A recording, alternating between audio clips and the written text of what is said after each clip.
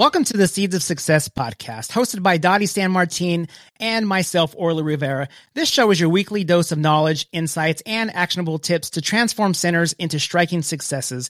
Whether you are a seasoned industry professional or just stepping onto the lanes, we've got you covered. In today's episode, we dive deep into the world of self-serve technology and how it can propel your center's growth. Joining us is Rosa Katz, Director of Customer Experience and Services at Qubica AMF. So grab your headphones, roll up your sleeves, and let's get busy. Welcome, Rosa. Hi, I'm so excited to be here. So excited yeah. to be with you guys. I listen to the podcast all the time, so kind of strange to uh, be a guest, but excited to be here nonetheless. Well, we're excited to have you. And the topic today, uh, you know, is one that I think that our listeners are really going to benefit from. Self-service technologies become increasingly pre- prevalent across various industries.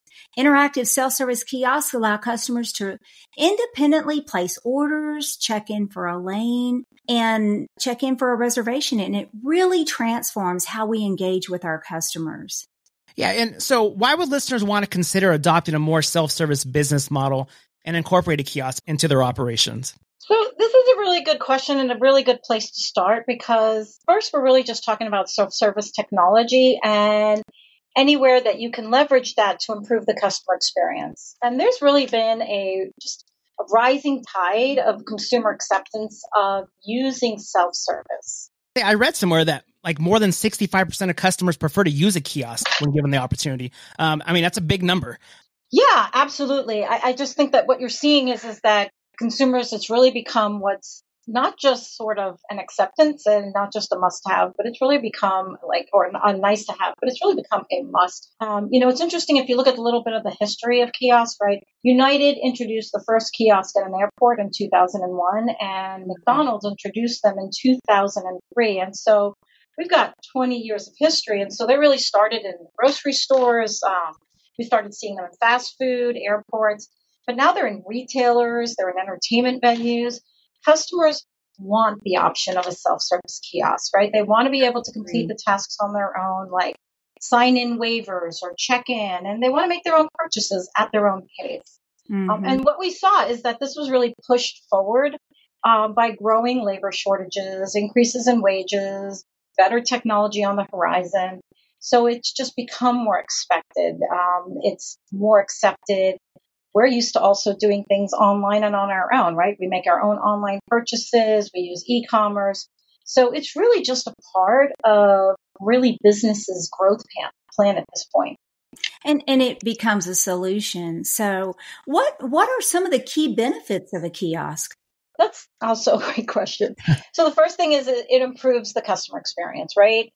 You know, if you think about it, what does it do? Shorter lines, uh, less wait time. Long lines really frustrate customers, and when they see a long line, sometimes they leave. And also, they decide not to wait in the line. So, when you have things like food and beverage, they're not going to get in that line to go purchase that food because the line is too long. And if yeah. you think about it in our environment in particular, when a lot of it is timed, getting out of that environment, going and waiting in a line, I mean, you're losing on that experience because someone has to go get in line and wait. So it's really about that experience. It also gives the customer an option of choice at their fingertips, right? So they get to make choices. It's without judgment, without pressure. And you get to leverage technology to do the transaction so that you can redeploy your team to service and help the customer in their experience. Um, another benefit is, of course, increased sales. It allows you to promote your offers consistently, accurately. Um, there's so many available options. Every single customer gets to see what those options and those offers are. It presents the offer in a way that's very visual. It's easy to understand. And the upsell opportunities that are seen, they don't drop off because the customer or the center gets busy, right? So when your center is busy and your staff is really wanting to service the line and work the line quickly they start dropping off on sharing what those upsell opportunities are. They they don't tell the customer about what all the offers are. So this is something that allows the customer to see it every time, and they're given that choice. Um, and at the very least, when they're not in use, they're very impactful uh, in a very visual way to help you with marketing, advertising. You can share what your offers are, your promotions, and your programs. So I think customer service and overall just increased sales are probably the two biggest benefits. Yeah, and I think I think just like you said, the visual of it. You know, you could use your own images where you're putting your food. You know, you're not just getting those.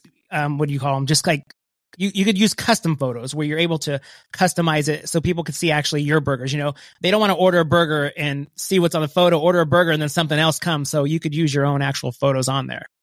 Yeah. Absolutely. Right. More than the stock.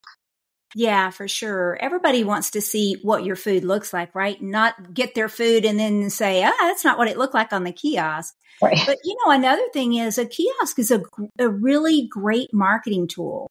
Um, and when you start to bring a kiosk kind of into your sales fold, it, you know, 70% of customers say that when they're in a store that the messages sway their decisions. So if somebody walks in and they see that you're having a great summer promotion on your kiosk, then they're going to naturally want to inquire about that because they just saw it and it looked pretty appealing on the kiosk. So I think that's another great benefit.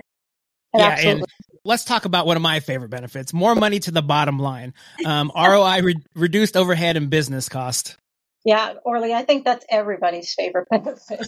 um, but I mean, aside from what we talked about and what Dottie mentioned already in regarding uh, power, marketing, and selling capabilities, it also helps with a lot of operational efficiencies, right? So if you think about um, better staff utilization, right? Looking at really where you need a human and where technology is helping you. So this creates an engagement opportunity for your employee and it actually increases employee satisfaction because the employee feels like they're really making a difference here. And so you're looking at just using your staff in a better way.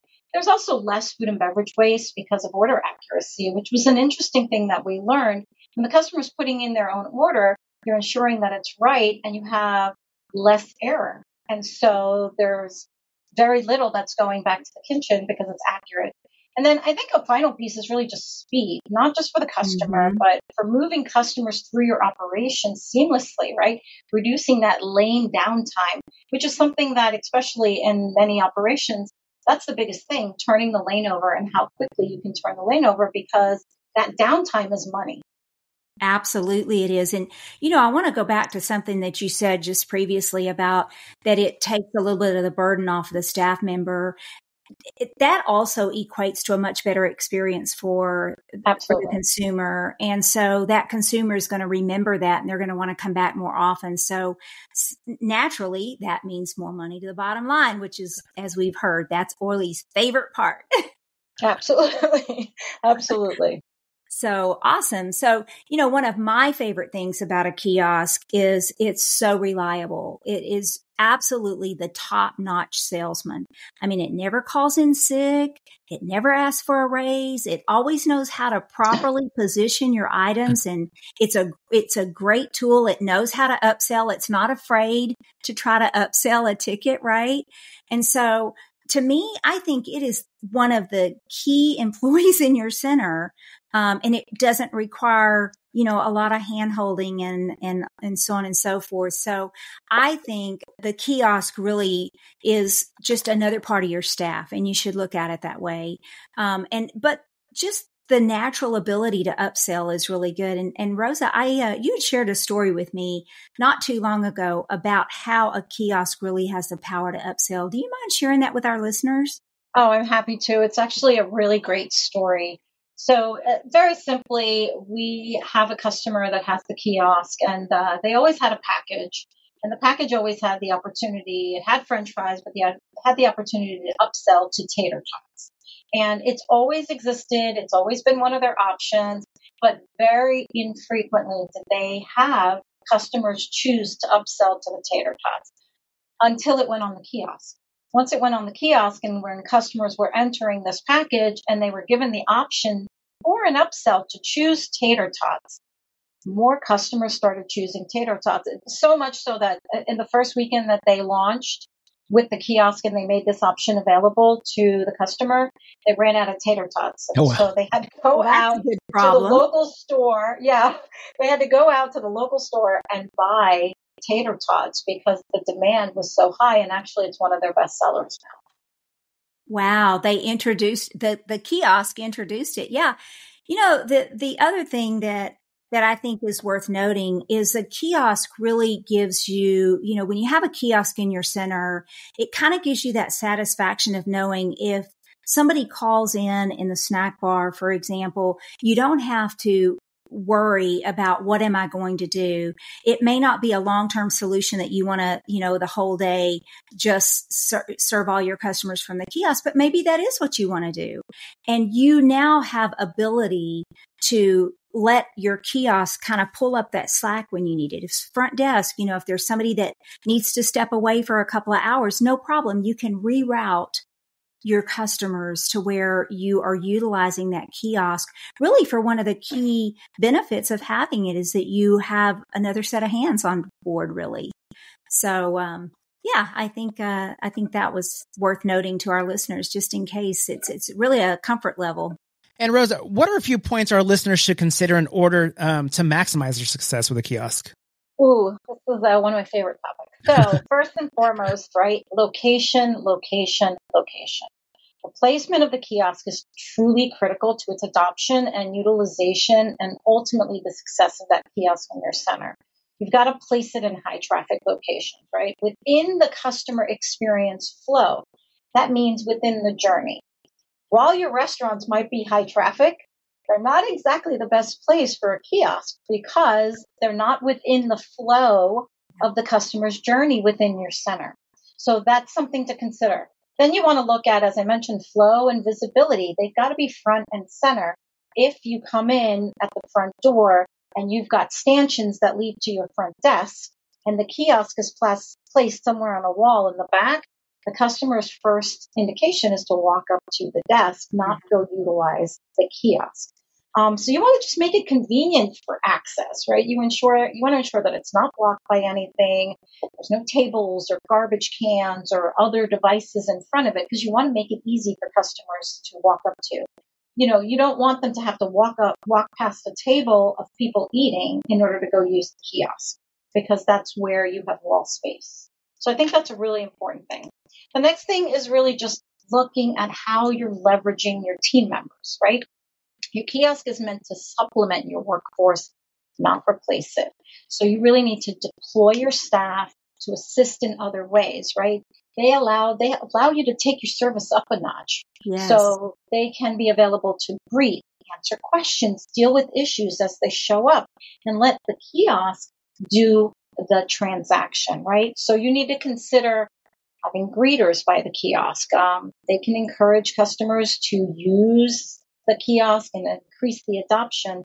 And in particular, if this is a change in your model, you want to encourage them to go use it because once they start using it and they're comfortable with it, they'll go there again. If your model has always been you walk in and you go to the front desk, you're really kind of training the customer to do something different, and a greeter helps you do that. Um, they'll also help with the apprehension around perhaps using technology. Some people are just not comfortable using that type of technology. And it really allows you to use the kiosk in a way without compromising the service, right? You can still deliver a great service experience and the kiosk adds to that experience. And you know, the other thing that that I'll mention is there are some people that say, "Oh no, I like having that personal touch in my business." By redeploying that staff, you still have that opportunity to keep that personal, very personal experience. It's just in a different format. And you're dealing with an employee that has a has less stress on them so that that right. interaction is a lot more comfortable to your staff member. Right. So. And and when they feel like they're creating a better experience for the customer, that improves that customer or that employee satisfaction, right? Because they 100%. feel like they're making an impact. They feel like they're making a difference. Right. I had this I had a great night because I was able to make people happy because at the end of the day, that's the business we're in. We're in the entertainment business and our goal is to create memories and make people happy. So that's what they want to do, right? Yes. They, they don't want to be behind the technology. They want to help you take advantage of it. Yeah. Yes. And that helps keep your staff members longer. You know, the, there's less turnover when they're happy. We all know that that's a fact. So, Absolutely. You know, yeah. And, and I've also noticed that sometimes, uh, you know, when we're talking about how to be successful and things that you need to be mindful of going into it, uh, one of the things that, that I like to remind customers of is don't just put it in and expect people to naturally gravitate to it, right? You've Right. got to show them it's there or draw attention to it in some way. So, um, I, I think that's really important as well.